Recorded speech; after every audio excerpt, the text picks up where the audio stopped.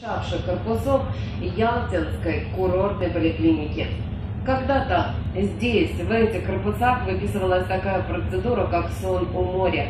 Ведь спать на открытом морском берегу не только настоящее удовольствие, но и действительно медицинская процедура.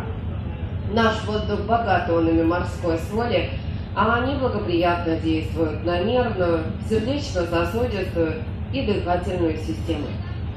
Чуть выше, также на территории парка, разместилось еще несколько высотных современных зданий. Все они были построены за последние 15 лет. И, с одной стороны, вроде бы хорошо, ведь наш город растет, развивается.